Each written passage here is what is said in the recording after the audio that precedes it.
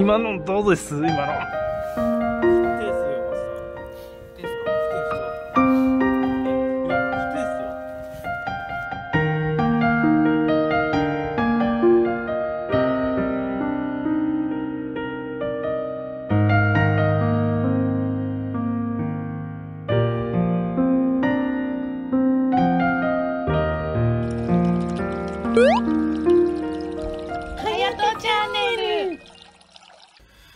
はい、ということでね、夜のぶっこみ釣りで、ウツボを釣ってきましたけれども、これね、本当はね、マサさん持って帰る予定だったんですよね。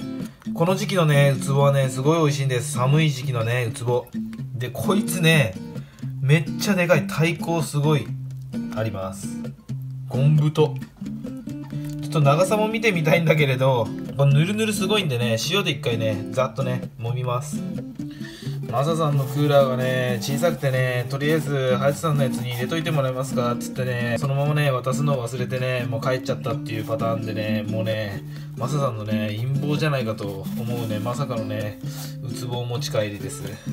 ね干物にして食ってやろうせっかくなんで。すごいね肉付きがいいですわほら。マジでかいっす。でかいっていうか太い。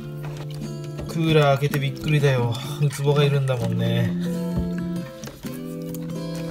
あちゃーってまあ悪気があってね。持って帰り忘れたわけじゃなくても単純にね持って帰り忘れ私忘れなんですけれど。手が冷て。うわ。はい1回目よりは随分ねもうぬめりないですけど。もう一回ぐらいやっとこう。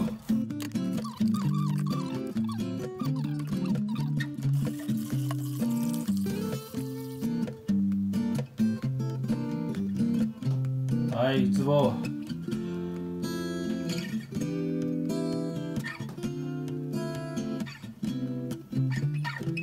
ほぼね8 0センチぐらいです。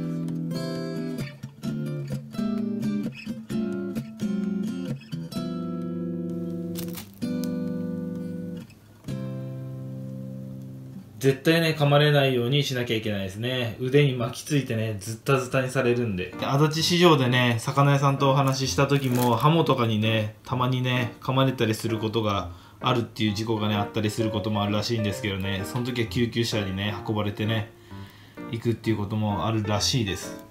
まあ、千葉の方ではね生田と呼ばれてね方言で言われますけれども生田丼。天ぷらにしたりしても美味しいですけど。今日はねマサさんが干物を作るって言ってたんですけどまあ強制的に僕が干物を作る形に、まあ、なりましたまあ楽しんでいきたいと思います太鼓がねすごいあるんですよね立派ですよねはい、ハヤトチャンネルでね、ウツボをお届けするのはね、2回目ですね。このさばき動画はね。まずね、目打ちをしていきます。ポンポンポンポンポン。さあ、楽しんでやっていきますよ。これね、白い。皮の下はね、こう白いんですね。真っ白。で、背開きにしていくイメージ。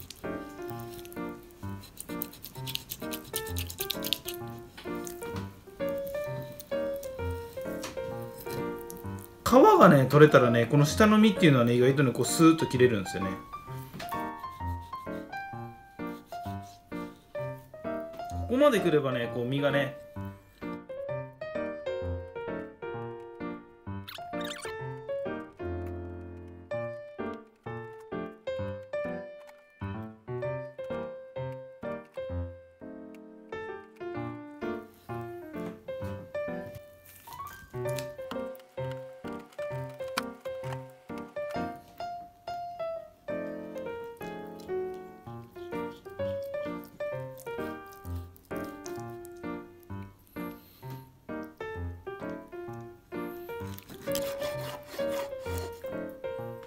はい胃袋にはね特にね何も入ってなさそうです。綺麗な内臓ですね。はい本当はねこのね背骨をすいてから頭を落とすはずだったんですけれどちょっとねあの気が動転しましてねマサさんのねこの企てによって気が動転して先に頭を落としちゃったんでもう一回ねこれ背骨ね今からねすいていきたいと思います。ほんと手順としてはねこれを先にすかないといけなかった頭落とす前にね。ということでここら辺にすいていきます。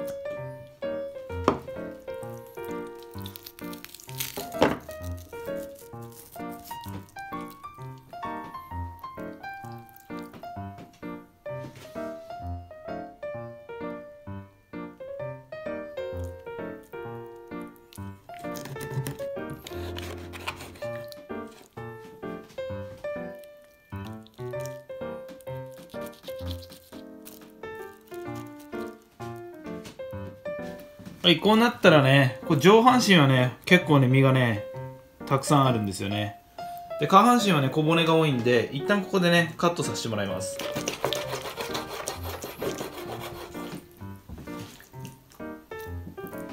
で、上半身については、このね、サイド、ここね、ここね、骨がこうあるんですよね。こういう感じでね、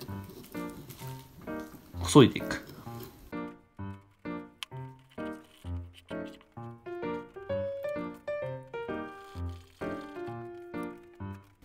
お刺身とかするときはね、まあこういうところを刺身にしたりもしますし、ただね、このね、皮がね、やっぱね、特有の匂いがするんでね、それがね、ちょっとね、気持ち悪いっていう人もいる。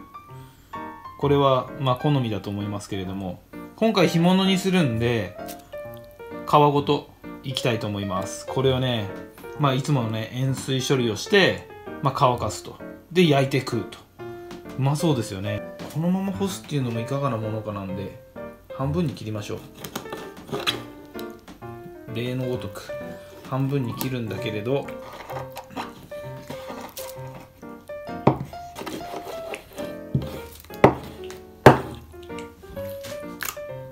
これね中にねいろんな小骨ね隠れてんですよね。こことかね。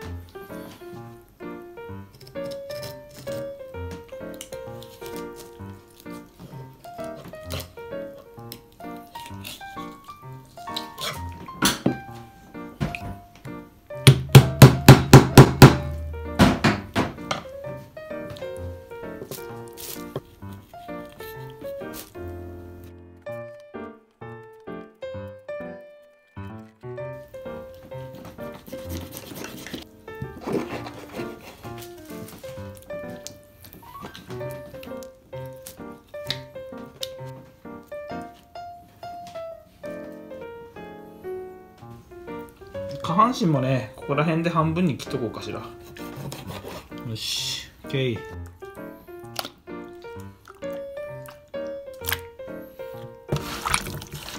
はい塩水でね一回きれいにしてそれから塩水にね漬け込んでいきます。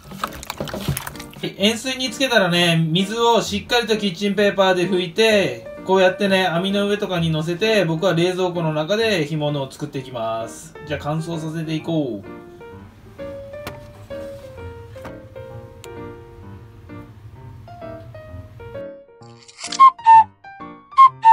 はい、6日経ちました。下半身はね、また別にありますけど、結構乾いてきましたよ。ね冷蔵庫の中だけで干物にしてます。もうね、尻尾がね、パリパリですね、ほら。尻尾がパリパリ。この皮がね、うまいらしいんですよね、干物にするとね。6日間でね、もうこういう肉の薄いところは、もうパリパリですね。こんな感じ。だから皮をね、触るとね、まだね、しっとりとは言わないですけど、水分感まだあるんですね。もうちょっとね、干してみましょうね。こっちの大きいやつもね、なかなかいい感じ。ただね、まだね、上半身はね、しっとりしてるね。うん、魚介のね、いい匂い、干物の匂いがしますね。これ絶対うまくできてる。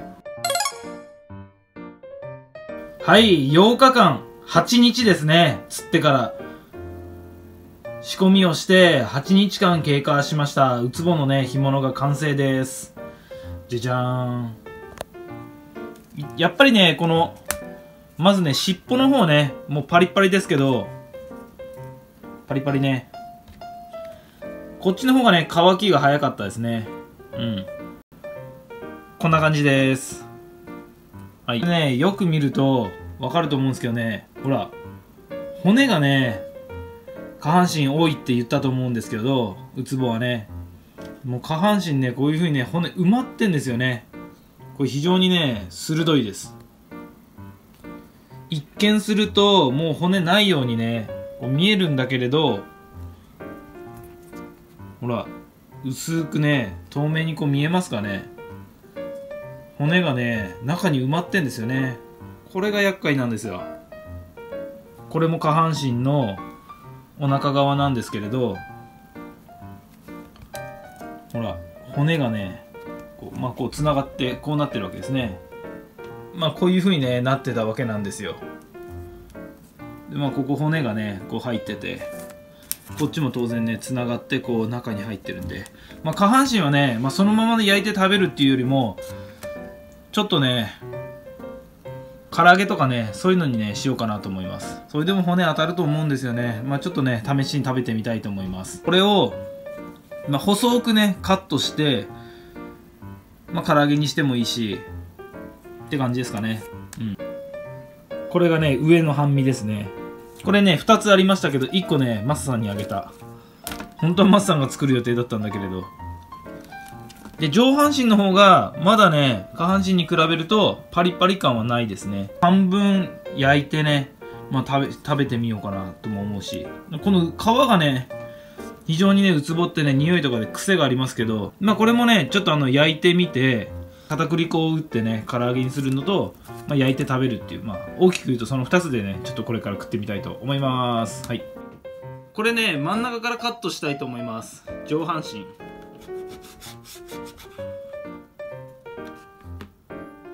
ね、こう小さくねカットして。こういうのね見たことあるんですよね。はい。これはねこうやって細切りにしてちょっと焼いてみたいと思います。綺麗だよねウツボの実。はいそれからこの問題のね下半身の方なんですけれど。これをね唐揚げにして食ってやろうと思うんでこれもね細くこうやって細くねちょっと切ってみましょう。ここにね骨が入ってんですよね。硬いんだこの骨。牙のようですよ。これ。これが入ってるんですよね。美味しくね食べれたらいいんですが。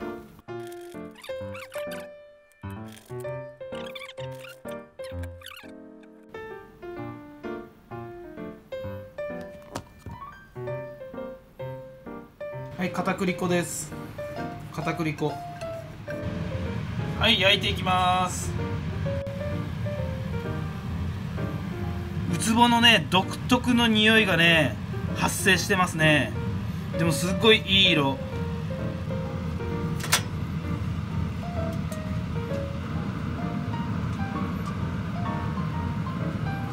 油がねじゅわっと出てるほら油。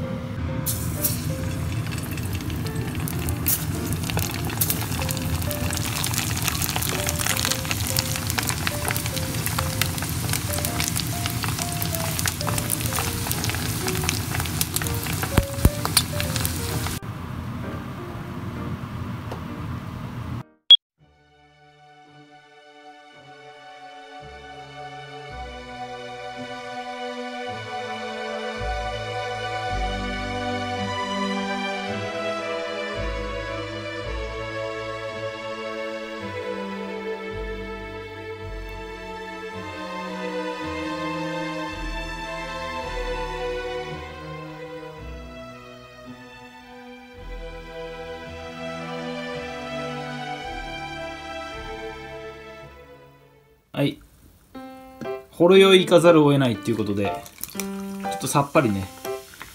の上半身の方からいただきます。うまっ。うつぼ感がなくなってる。うめっす。何これ。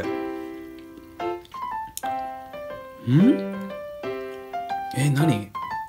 皮目の油がすごいやばいですね。うまみが。鮭とかってそうじゃないですか。皮うまいですよね。うん。めっちゃうめえ。この干物ね。麺で焼いたやつ。これかぶりついてみましょう。こんな感じ。裏は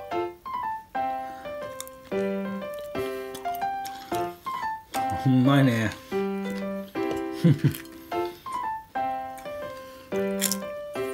うわっ。かぶりついた瞬間肉汁がじゅわっと中から出てきた。皮から出てんだね。皮の裏ごしから。これはね最高にうまいです。文句なし。これちょっとウツボを釣りに行こうまた。続きまして。で下半身はね骨がある。それが気になる。いただきますさて。あ。骨あるね。うん。やっぱあるわ骨。うん。危ないね。問題はこのやっぱりね体の中に埋まってる骨。口の中が傷だらけになるんで本当にゆっくりゆっくり食べてください。もうねこれ鋭いねナイフのような骨です。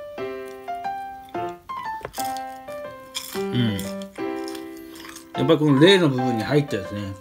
例の部分に。要はここのねこの真ん中は入ってないんですよ多分。だからここのサイドのねむしって。真ん中の部分。うん。うん。うん。うん。ちょっと入ってるわ。うん。入ってるね。うん。はい。ということで、今回はね、缶ウツボを釣って干物にしてみましたということでした。あの、食べ方はね、唐揚げも、この焼きもね、どっちもマジうまいです。下半身はね、唐揚げにするのがおすすめ。で、さらに、用心を持って骨を取りながら食べないとね、いけないです。先に骨取ってもいいんでしょうけれども、なかなか難しいんで、普通の人はね、難しいと思います。皆さんもね、この缶ウツボ、食べる機会があれば、そのまま食べないでね、干物にしてから食べると、本当にね、違う魚になります。参考になっていただければ幸いです。それではまた次の動画でお会いいたしましょう。じっくり堪能しますよ。ありがとうございました。